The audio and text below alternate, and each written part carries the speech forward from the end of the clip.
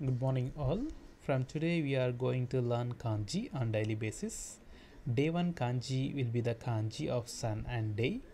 Symbol looks as follows, and stroke order is very important for writing kanjis.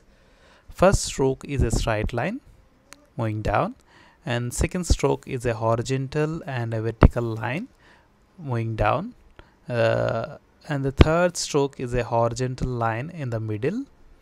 And the fourth stroke is also a horizontal line at the bottom of the lines.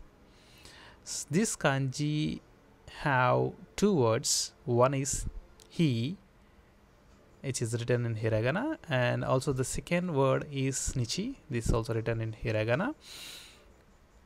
So hi means sun and uh, the nichi. Coming to nichi nichi is the day. Nichi means day. So these are the two different words mainly used for this kanji. And the rest of the words which the same symbol represents can encounter in different words. And we can discuss in, in different lessons so going forward i will explain you different kanjis every day on daily basis and we'll meet tomorrow with new kanji